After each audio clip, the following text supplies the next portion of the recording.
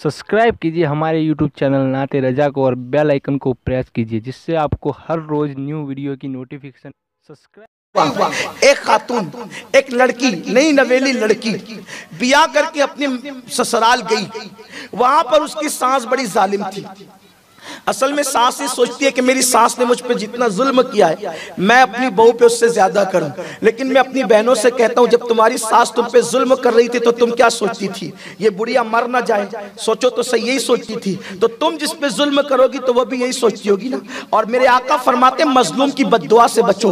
मजलूम की बदुआ सीधे बाबे जाबत इलाई से जाकर के टकराती है और वो कबूल हो जाती है। इसलिए किसी पे कभी जुल्म नहीं करना, वरना बलाओं में गिरफ़्तार हो जाओगी। एक नई नवेली दुल्हन। सास की बला में गिरफ़्तार हुई, नफरतों में गिरफ़्तार हुई। माँ के घर आके कहने लगी, मेरी सास मुझे सताती है, जुल्म करती है, गालियाँ देती है, ये करती है, वो करती है। मैं उससे बात करूँ तो सीधा मुँह ना दे। माँ बाप शरीफ थे। उन्होंने कहा, बेटी, सब्र कर, अल्लाह तुझे जजा देगा।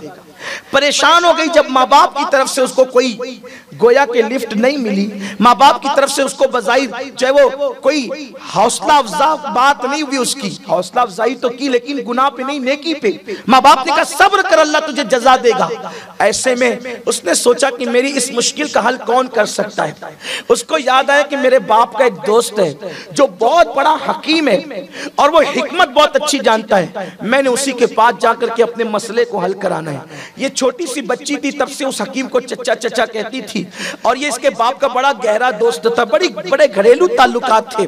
इसने सीधा बुरका ओढ़ा और बुरका ओढ़ करके उस हकीम के पास गई। कहा, चचा, सास बहुत जुल्म करती है। अम्मा अब्बा को कह कह के थक गई, लेकिन माँ बाप मेरी कोई शिकायत लेते नहीं, कहते, सब्र कर सब्र कर सब्र कर। मैं कितना सब्र करूँ आखिर?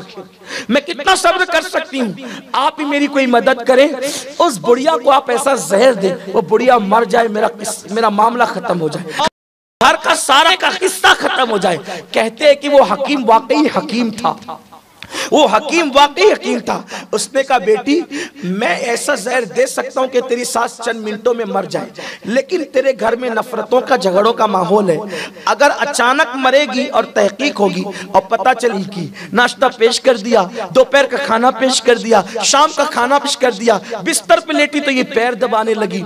आखिरकार ये बुढ़िया बड़बड़ करती रही, लेकिन कहते हैं कि नफरतों की बात कब तक रह सकती थी? जब उस बुढ़िया ने देखा, उस सास ने देखा देखा मेरी बहू पैर दबाती है, मेरे लिए पानी रखती है, मेरे लिए कपड़े रखती है, मेरे लिए इतना इंतज़ाम करती है, मुझे ये माँ की तरह चाहती तो कहते हैं धीरे धीरे दिल से नफरत खत्म होती गई। अब वो सास जो ताना दे रही थी, वो बेटी कह करके पुकार रही है। माहौल एक महीने में माहौल चेंज हो गया। और ये बहू जो अब तक माँ हकीम के पास पहुँची, चचा चचा, एहसान करें, मेरी सास को बचा ले। वो आँख की सदाएँ शुरू हो जाएँगी। बेचारा करके पहले ही थका था, वो और अधमरा हो जाए। ये कैफियतें होती है। वक्त होता तो मैं आपके सामने एक बात अर्ज़ करता, लेकिन बस तवील नहीं, एक इशारा देना चाहता हूँ। देखो तो ने शोहर की खुशी के लिए कैसे काम किए? हजूर सलाम की एक सहाबियत थी, उम्मे सुलैम। उनके शोहर थे अबू तलहा। और वो सफ़र पे गए थे, सफ़र से वापस आए। आपने जन्नत की बशारत अता इसलिए घर में इबल बनाओ, जो रसूलुल्लाह ने अता फरमाए ना कि सीरियल का। अल्लाह हम सबको तौफीक दे, घरों में मोहब्बतों का माहौल पैदा फरमाए।